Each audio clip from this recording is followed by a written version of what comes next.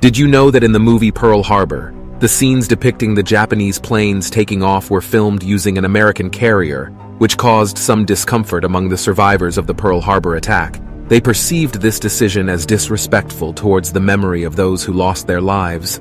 However, the director of the movie, Michael Bay, explained to them that all Japanese carriers were destroyed later in the war, and therefore an American carrier was necessary for the scenes. After this explanation, the survivors reportedly agreed to the use of the American carrier.